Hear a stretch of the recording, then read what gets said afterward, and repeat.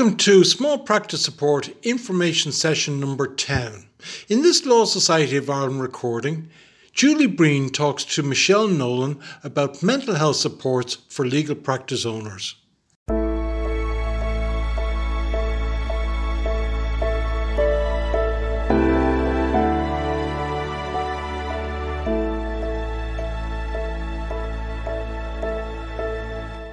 Okay, good afternoon, everybody, and welcome to today's information session. Um, Justin Purcell is gone fishing, and he'll be back here next week in the hot seat. Today, I'm joined by Julie Breen, who is Professional Wellbeing Coordinator with the Law Society, and she's going to talk to us through today through um, the professional wellbeing supports in the Law Society and also um, supports that are available to us outside of the Society. So, um, Julie, you might just give us a little bit of background in relation to the wellbeing um, hub and everything and why we actually the society got involved with that thanks michelle um, and thanks everybody for joining and participating in today's information session so um, yeah just to answer that question around why there's a professional well-being project michelle um, I think it's important to recognize that at a global level, there's a significant amount of research has been carried out into mental health and well-being, in particular um, of lawyers' mental health and well-being. So, for example, in Australia, Scotland, the US, Canada, England, and Wales, and there was a number of studies carried out into um, lawyer mental health. The findings were very worrying, and the Law Society of Ireland became quite concerned that there was a similar trend taking place in Ireland. Um, so just to give you an idea of some of the, the global findings, um, in the, the American Bar Association, for example, found um, that out of 13,000 practicing lawyers, 20, between 21 and 36% of them qualified as problem drink, drinkers, and 28% struggled with depression. In the junior lawyers division, which is carried out in England and Wales, um, more than 38% of respondents stated that they had experienced a mental health problem in the last month. And then there was the, the more recently, the 2018 International Bar Association um, study survey into bullying and sexual harassment, and that found that approximately one in two female respondents and one in three male respondents had been bullied in connection with their employment. So that's just to give you an, a, a backdrop to why the Law Society decided to run its own survey and its own study. And the study was commissioned, the Law Society of Ireland study was commissioned in 2018 and that was carried out into indicative levels of stress in the profession and perception of existing mental health supports in the profession. Um, very importantly for so say, yeah. for those of you joining in on the call today we would encourage you to ask myself or julie any questions in relation to the wellbeing project and you can do it in the chat function either to all of the people here today or just to myself and julie and we'll read it out for you. We won't name any names as i made the mistake last week. We will just ask your question for you okay? So thank you julie. If you just go ahead there no worries. Yeah. So just actually just to say that the the the, the findings of the study, the Law Society's study, which was carried out by um, independent consultants, was disappointing but not surprising.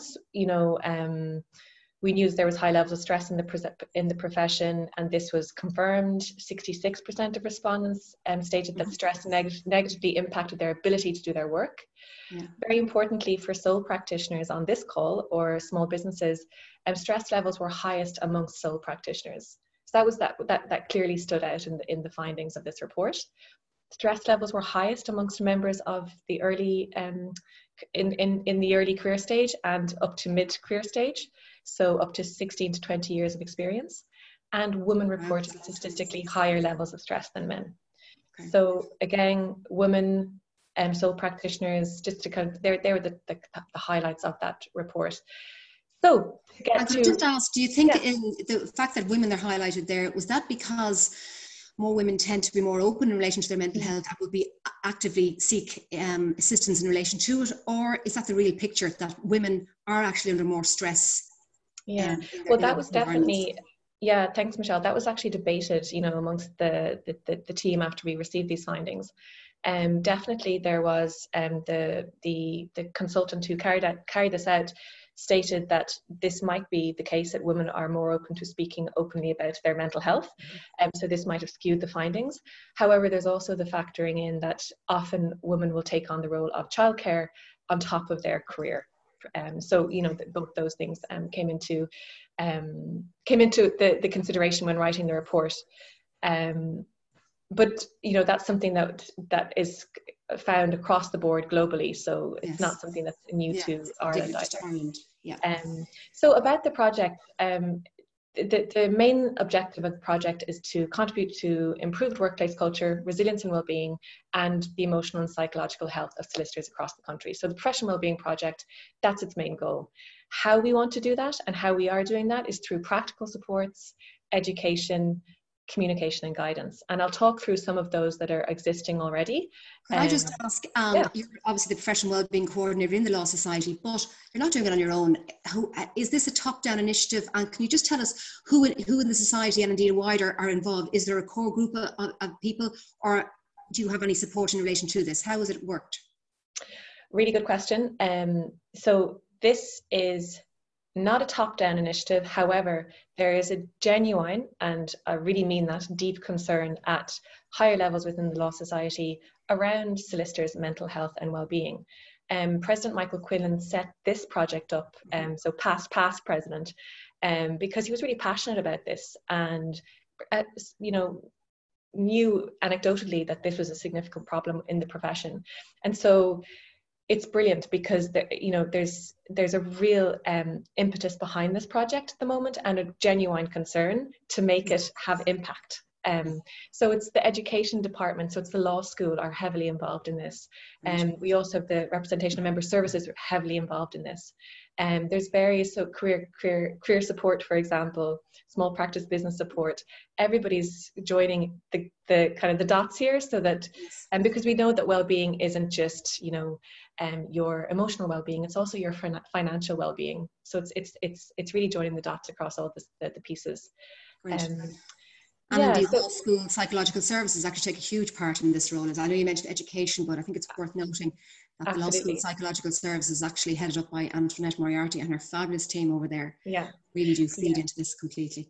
One hundred percent, and the, there's a there's a project team with um, various different Antoinettes on that project team, but there's um, an, a project team with various different um, important people there because they care and because the Law Society cares. Yeah, exactly. So just to say that, um, you know, I'm going to look at the hub now. I'm going to share my screen, but before I do look at the hub, because on the hub you have existing supports that are available to members, but we do also have future plans and the plans are ambitious and we're excited about them and we also want to hear from solicitors on this call around our plans and what could be done what you know ideas essentially. Um, but coming up we have the business of well-being summit which we can talk about a little bit later which is happening on the 30th of september we have a pilot peer support program that's taking place and um, starting in october as well so that's peer support so peer-to-peer support um, emotional um, and psychological support. Um, then we have the professional well-being charter, which is also coming up. We have, um, will hopefully in 2021 develop mandatory CPD hours that um, attached to mental okay. health and well-being um, support. So these are all our plans. We have a mental health awareness week coming up in October as well. So lots of exciting plans. And now I'm going to share my screen so that you can, we can look at the hub. Um, there it is. This. Okay, can you see that now? Yes, we can, yeah. Great, okay. So this is the Professional Wellbeing Hub. Um, lots of information on here. So in each of these boxes, you just click on the tab and you'll find more information underneath each. So I'm going to go into Unlock Wellbeing, um, which is a series of CPD um, webinars that was created by the, by the law school, like we just mentioned. Um, so from number nine down to number 17 uh, in this on this page we have a series of um, talks around psychological health resilience so it goes from um, you know how to breathe well to parenting in a pandemic to love lies and justice so really interesting 30 minute short slots um, yes, I, I actually per, uh, participate in a lot of these. Actually, listen to them. Some of them actually on just as in a podcast but they're actually really excellent. And the Wim Hof method about how to, how to breathe properly. I mean, I know it sounds breathing, but breathing yeah. is such an important part of everything. Yeah. But the parenting a pandemic, the box breathing method, another method, or uh, breathing session in there. But yeah. there's just 30 minute chunks. They're CPD aligned, and you come away feeling better for having done it. So I have to say, I encourage you to go into this series in, in here. Um, it's a wonderful one, actually, the Wellbeing uh, Legal Life series. And we talked about self care before we went on this call, Michelle, and that's part of you know just taking 30 minutes out and giving yourself a moment and time to take in new information. Um, around well-being and resilience is a part of the self-care um, piece. So um, that's the, the Legal Ed series, um, which is really brilliant advice to go in there. Across the board here, we have a number of, so if you click on these tabs here, you will be signposted to outside resources, which are highly recognized resources. So for example, Pieta House, depending on your issue, there's financial well-being in there. There's also, um, you know, self-harm, suicidality, eating disorders there's there are um, outside um, resources signposted to in each of these um, boxes here. So it's worth going in there and also to help somebody else, for example, there's trainings um, around uh, mental health first aid, how to register for training in there. Um, yeah, I'm not going to go into too much detail in there. So the EAP offer, this is another really interesting service available to sole practitioners um, and everybody, all of the, all of the different members yeah. of the Law Society. I'm going to click on it here because it's it's quite significant. It is a 47% reduction in price um, for an employee assistance program. So we negotiate an offer with um, Spectrum Life, Laya Healthcare, um, for members. And so for firms with up to 30 employees, um, it has been reduced from 750 euro to 400 euro per year, um, which is big, big difference. Mm-hmm. Um, who's, who's, taking up that EAP offer? Do you, is it does it tend to be larger or bigger firms? And is that um, the rationale behind why we went into Legal Mind? Yeah, so that's a really good question again. Um, so the EAP offer is there for firms that have a significant amount of employees who, for example, want their um, other professionals in their office that are not solicitors to benefit from an, an employee assistance program, mental health program. Legal Mind is only for solicitors. So this is the difference here. So we have an EAP offer, which is for all of the professionals within an, uh, within a firm. Legal Mind is for solicitors only. Um, so that's why I have both there, there. In relation yeah. to the EAP from uh, Thrive there, um, we have a question in here to say whether or not, is the 750 euro per firm or per individual in the firm? per firm so and then there's there's a price per individual thereafter so it it it has um dropped from 750 per person thereafter to one euro 11 per person thereafter. So it's it's a it's it's a big drop in price. And so you pay this this amount per year and then you pay the um the, the per person within the organization. And the, you know within that um, tab you can contact thrive um, confidentially, separately, independently. It's none of this information goes to the Law Society, but you can contact Thrive through that tab there and ask them for more information. Um, so yeah, so I'm going to just click on Legal Mind now. You can find um, all of the information you need on Legal Mind here. Um, I'm going to stop share because I would like to kind of get a couple of points across, um, if that's okay, around Legal Mind. Um, so what is Legal Mind? Legal Mind is an independent, confidential, low cost mental health service that is accessible to members and their dependents, so partner and children above the age of 16 who are still living at home. And it's available to solicitors and de- their dependents across Ireland at any time of the day or night. The service is provided by a high quality outside provider and they adhere to best practice clinical governance standards and procedures and codes of ethics. It's fully independent from the Law Society and 100% confidential. Mm-hmm. That's really important because I think there is a fear um, within the, the, the sector yes. that this information is somehow going to be retrieved by the Law Society and used against them at a certain point. It is absolutely 100% not going to be. Um, and the portal is actually found under lawsociety.ie forward slash legal mind. And if you go into that, there's surprising things in the portal under well-being, from nutrition through to exercise to podcasts. It's not just having to sign up for, for a session as such. Am I no. correct? No, absolutely not. And if you want, I can actually share my screen and go through that with you. Just briefly. Um, yeah. So here you have the the um, Legal Mind portal you, you register for this, very easy to register. And so look up here under well-being content. Really interesting. I think I think it's brilliant. I've used it. So nutrition here, for example, you can journal what you eat. You you also have a, can you see my screen here? Yes. Yeah, brilliant. So you have all of these re- recipes available to you. I found that quite useful when trying to think about what to make for dinner, um, and also really healthy um, recipes. So that's under nutrition. You can go in well-being. You have um, really good um, professionals speaking about um, uh, from yoga to um, actually one that I was looking at just recently was well, there's the COVID is this one here, your work, work, workplace wellbeing podcast. Really interesting um, during COVID to listen to that. Um, this stay mobile, stay flexible. That's core strength and conditioning, and it's a, it's done by a core strength and conditioning coach. I can't do that much exercise at the moment, so I've been doing this. Um, really, again, like just brilliant. So you have below videos. You wouldn't actually be expecting to, to, to see on a legal mind portal as such. Well, I no. why wouldn't be expecting to see that. So that's actually good to know that you can have yeah. a little use around without being committing yourself. That that's just dipping your toe in and seeing what yeah. is. It's self care. You don't have to ring the number. You don't have to call and speak to a counselor. It's just self care. Um, so that's that's um, legal mind. Um, so I suppose I just might just give a, a, bit of detail around how it works because that can sometimes put people off. So what, what would happen is um, you, a member can avail of 24-7 support. So there's a counsellor, a psychotherapist at the other end of the, the, the line of the number um, that you will find on um, all of the kind of Legal Mind pages there and on the Legal Mind portal. So that person will talk through any personal or professional problems that you or your dependents might be facing. Um, and then if you if if you with them decide that you should avail of further supports, they will refer you on to further supports. So further supports might be a counsellor, a psychologist. If it's a deeper mental health issue, it might be a psychologist. If it's um, you know talk therapy, it might be a psychotherapist. Um, and within 48 hours of the initial call to the, the, the helpline, um, members should be offered a date to speak with a mental health professional.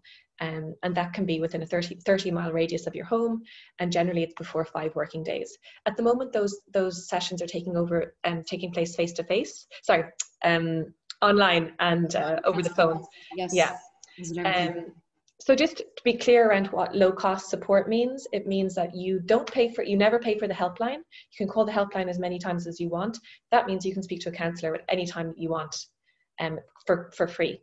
Um, but if you are referred on for deeper support, for example, if you want to meet the same psychotherapist 10, you know, 10 times in a row for a series of sessions, you don't pay for the first session because you really want to see if you if, if it's something for you.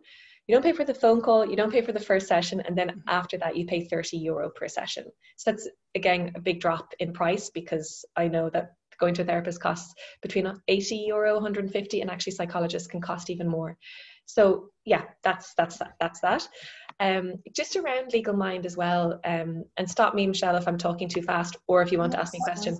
Um, but there is so you have the self care here's the, the podcast, everything that we showed you on their their portal. But um, Legal Mind also has a critical incident specialist um, support. So this is for critical critical incidents that happen in the office.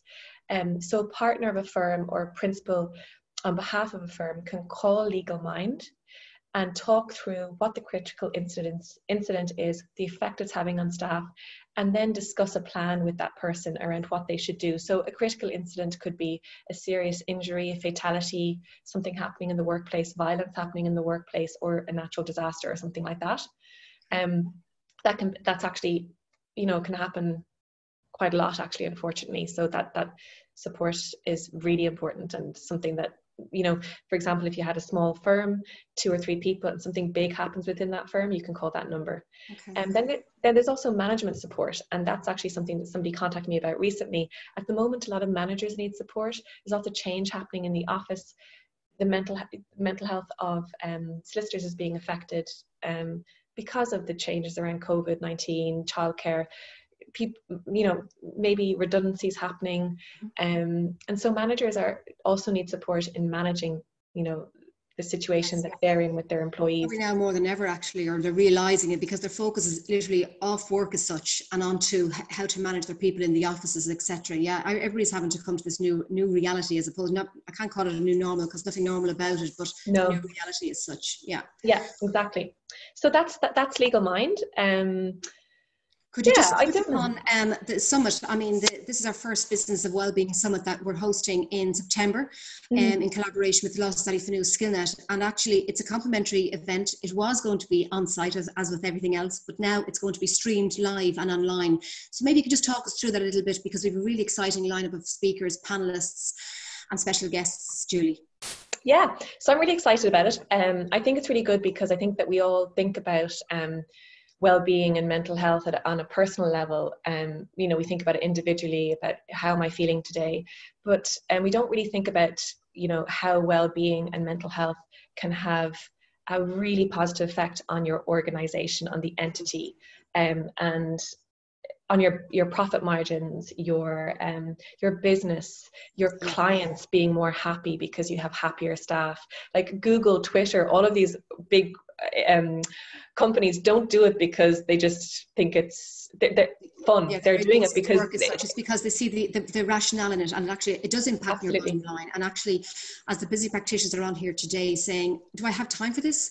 The reality yeah. is you don't have time. Not you have to have, make time for this yeah. because this yeah. is so important. Yeah, yeah, and it's not tangible, so it's very difficult for people because it's not so as tangible as you know, um, seeing a product sell um, it's it's it's it's difficult to see how this improves your, your profit margin, but it does, and research has been done on this. So you have you know research carried out by Deloitte, um, where they they um, found that the UK uh, that mental ill health was costing the UK 45 billion per year.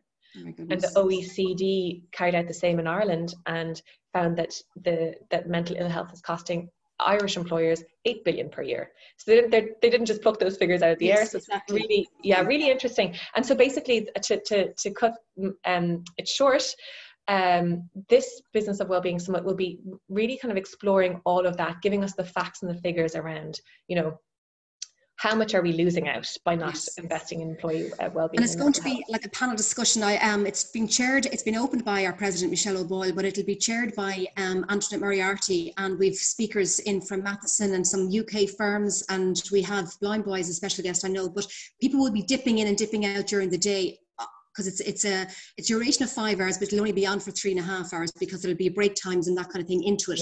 Yeah. So we really would encourage yeah. you to come along and um, yeah, we've thought about it quite a lot. Like you know, it's it's 15 minutes. It's very the, the presentations are very short. We've got Q and A afterwards.